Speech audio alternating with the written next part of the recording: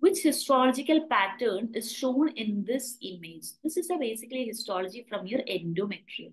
So the endometrial appearance in proliferative phase, in secretory phase, this is very characteristic, high potential MCQ question as well. So you have proliferative phase where you get this tall, narrow tubular glands and the stroma is also tightly packed. Yes, this tall, narrow tubular glands, this is basically your proliferative phase. Let's compare it with the secretory phase.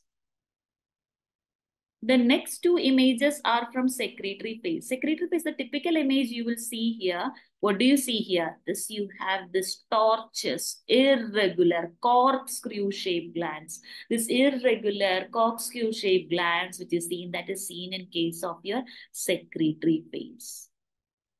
Secretory phase. Tall, narrow tubular glands, proliferative, tortuous, irregular, corkscrew shaped glands.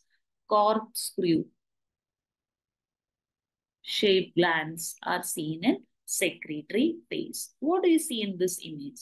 This is early secretory phase. Just after ovulation, in the early secretory phase,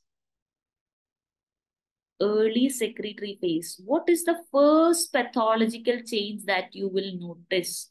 Can you appreciate these white, white areas just below the nucleus?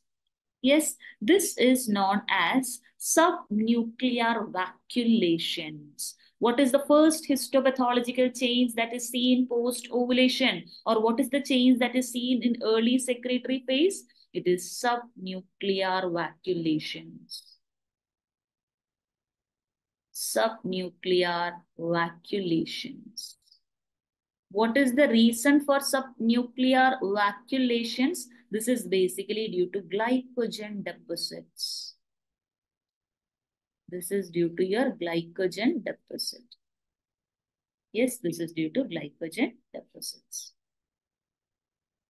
So here the correct answer, again, you can appreciate that all narrow tubular glands, this is basically your proliferative phase, proliferative phase.